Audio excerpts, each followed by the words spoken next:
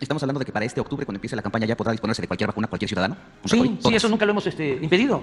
Nunca. No, no habrá la obligación, bueno... Es eh, que no hay ninguna necesidad porque nosotros tenemos vacunas y son vacunas certificadas y es gratuito. O sea, ¿Para qué este, se va a, a poner otra vacuna si tiene el mismo efecto solo porque se va a ir a pagar? ¿Qué será? ¿Abdalá? ¿Será Patria la vacuna que se va a poner?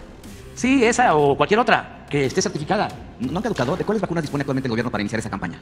De todas. O sea, hay de todas ahorita, De todas las todas vacunas. marcas de todas las disponibles. vacunas. De todas. ¿sí? Y eh, si es la vacuna patria, pues mucho mejor.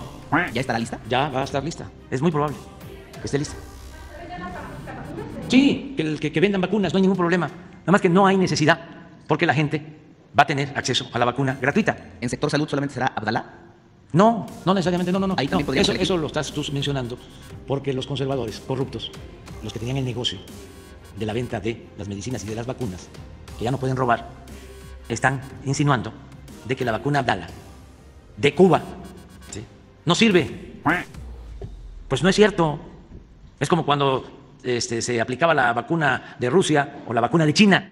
Entonces, no, vamos a tener de todas las vacunas. De Y es muy probable que ya tengamos patria, ¿no? que es la nuestra. Y eh, pues, eh, está hecha por investigadores del más alto nivel.